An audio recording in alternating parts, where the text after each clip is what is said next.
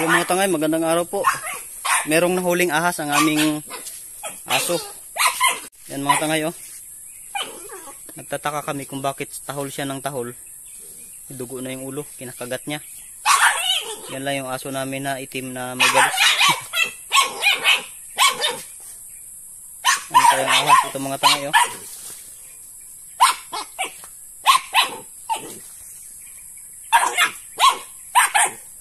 Kulay itim na ahas.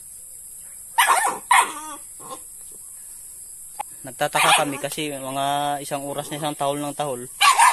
Akala namin kung may tao. Pero nung paglabas namin, yun pala, may ahas siyang nahuli. Siya lang po yung nag-ano niyan. Siya lang yung nagbanat dito. Itong mga kasama niya, mga takot. Puting! Hindi ka marunong tuting manghuli. Anong ahas kayo ito mga tangay oh? Yung ulo niya oh.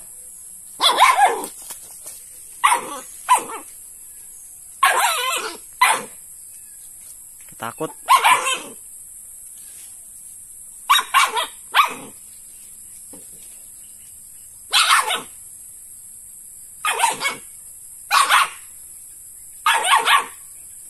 Patay na yan pupul. Itong aming aso ito talagang ano to eh, bayani eh. Kasi yung pangalan niya pupul. Bago yung kanyang kapatid kupa. Pupul and kupa yan silang dalawa. Kupa! Kupa! Kawawa rin yung aso na yung mga tanga ito. Ginagamot na rin namin eh. Tinurukan na namin ng panggalis kahapon. Kaya medyo ngayon kita pa yung kanyang flawless na balat. Yung mga tangay, oh. Uy, kata.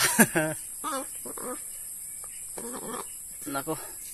Patay na yan.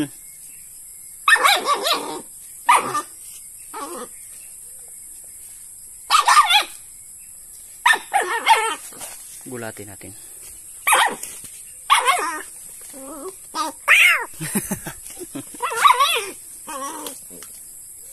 Patay na yan. Nagpulupot na dyan sa ano, oh. Buti pa tong mga aso na ito talagang masisipag. Kaya kailangan talaga natin ng mga hayop, mga tangay sa farm natin. Bukod sa gwardya na sila kapag may mga tao, ganun din pagdating sa mga mababangis na hayop, talagang alerto din sila. Kaya ako mahilig ako talaga sa mga aso at pusa. Patay na yan, po. Patay na yan, pupul.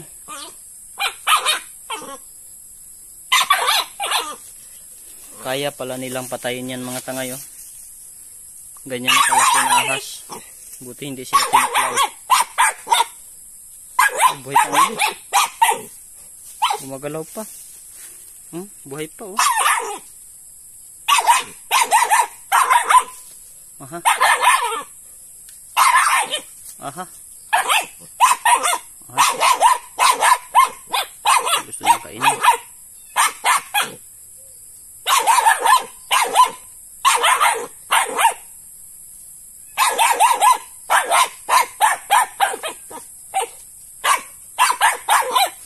Eh, natatakot ako mga tangay maghawak ng ahas kasi may phobia na ako dyan. Nung maliit pa ako, natuklaw ako ng kubra. Buti na lang mayroong manggagamot sa amin muntik na akong natigok. Kaya ako ay may phobia sa ahas. Makakita nga lang ako ng anino na parang ahas. Tuwing gabi mga tao grabe ng talon ko eh. Matindi yung phobia ko sa ahas.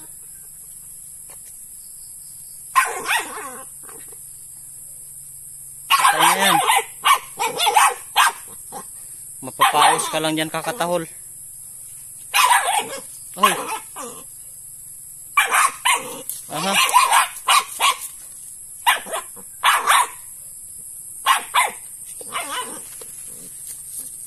Naku ah, kakainin niya.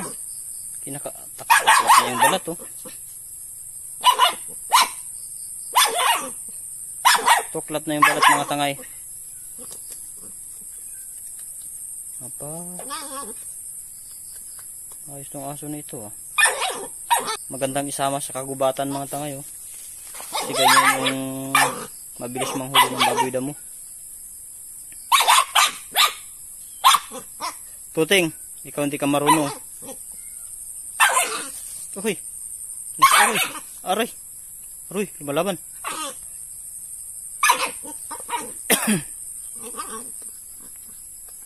lumalaban pa mga tangay.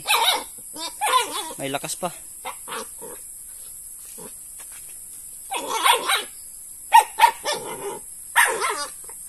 Tuting.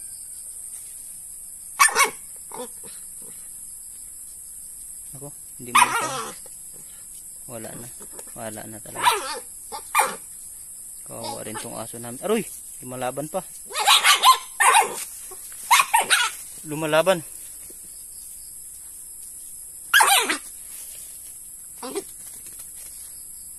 Ako, baka mamaya makagat ka. Kirig-kirig ka dyan.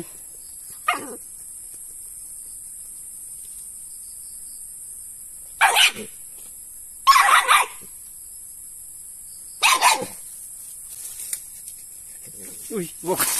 Pasaway kang aso kasi hilain mo yung palapit sa akin ha. Kaya pala. Kaya maganda mga tangay pagka sa farm eh malinis para hindi panahayan ng mga ahas. Uy. Ayun siya oh. Lumalaban oh.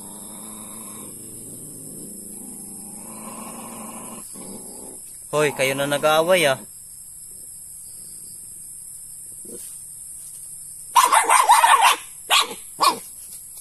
Wala na yan, patay na yan.